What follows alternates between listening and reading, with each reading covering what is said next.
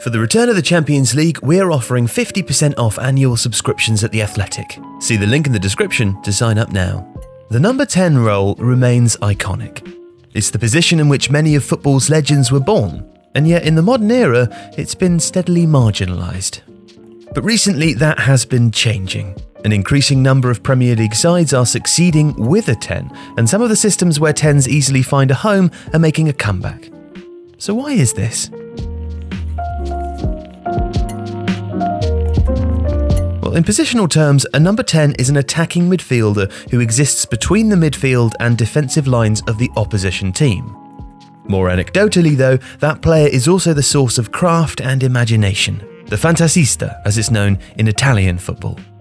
Tens were often excused defensive duties. They were a luxury made possible by hard-working teammates, and that's where the culture clash occurred. Modern football prioritises pressing, work ethic, and of course, defensive responsibility and in this new context, luxuries such as the 10 became scarce. And also less necessary, because creative responsibility is now spread much more evenly.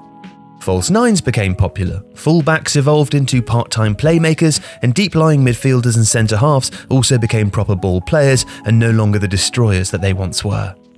Collectively, it reduced the need for a single source of craft, furthering the idea that the number 10 was an unnecessary indulgence. In addition to which, the 4-3-3 formation, which has no natural home for the role, became almost a default for top sides, with managers enthralled to the numerical advantages it offered in midfield.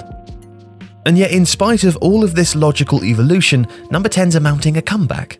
And part of the explanation for why lies in the 4-2-3-1 system, which has really superseded the 4-3-3.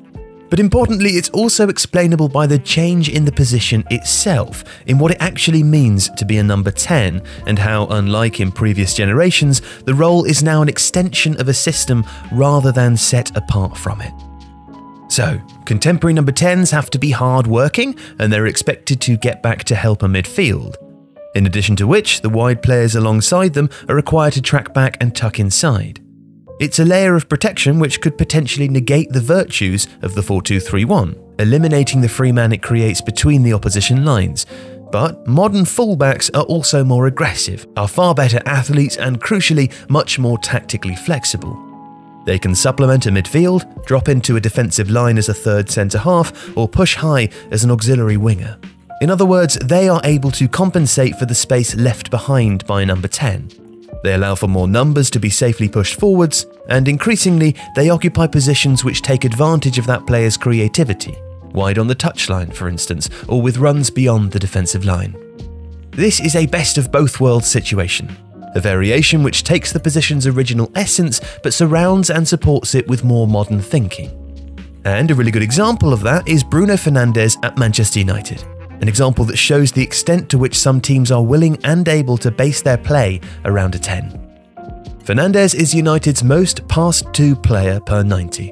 He occupies space between the lines, but he also roams, producing incisive, imaginative contributions that can exploit weaknesses in an opposing defence.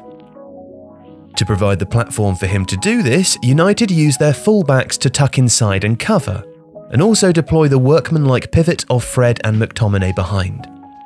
United also play a kind of contract and expand style of counter-attacking, which requires great energy from the wide players and forwards, but allows Fernandes to stay relatively high.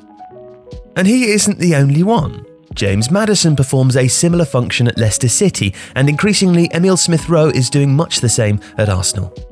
They take up positions in the half spaces or drift deeper, adopting passing or receiving positions in areas of the pitch other than the central between the lines spot inhabited by former 10s. And that new breadth describes the athleticism now associated with the position, but also the increased positional and tactical flexibility which teams are now equipped with. Footballers have not become homogenous, but there are far fewer physical and attributional differences between them. Allied with greater tactical education, this allows individual players to comfortably fill more roles and consequently grant more license for the creative types without damaging the team's structure. But these mechanics aren't confined to a 4-2-3-1. The creative players in the 4-3-3 can also function as number 10s. Manchester City, for example, move between these two shapes, but in the latter often push one or both of their eights forwards, creating what looks like a jagged line of five in attack. This allows for runs beyond the defence, plenty of passing options, but with the fail-safe of a fullback staying deeper. And the mobility of the so-called free eights like Kevin De Bruyne is crucial. They inhabit the space and function of a 10 while also being very difficult to track, but then drop back if possession is lost. Occasionally, this is also seen with one of the wide attackers in a 4 3 3. At Everton, for instance, James Rodriguez will drift infield from his starting position while in possession, while the other wide forward, usually Richarlison, will either stay wide to threaten the fullback or tuck infield to make a 1 2 shape. In a way, these are number 10s hiding in plain sight. Players like De Bruyne, James, Maddison, and Fernandes have starting positions and defensive responsibilities which allow them to conform to modern football's imperatives, but while still performing many of the traditional functions of the 10. Football is cyclical, the game is always evolving, and that includes its positions too. The number 10 hasn't disappeared, it's just been reinvented in a way that suits a new environment. For the return of the Champions League, we're offering 50% off annual subscriptions to The Athletic. We have a week full of brilliant pieces, including a Champions League knockout guide by tactics expert Michael Cox and analytics chief Tom Worville. So, for just £2.50 per month, a deal available until the end of the week, you can follow the best journalists writing in depth pieces about your favourite teams in the Premier League and across several other sports. It really is the best place to read about football online. So, come and join us today at The Athletic by visiting theathletic.com forward slash TIFO football. Thanks for watching today's video.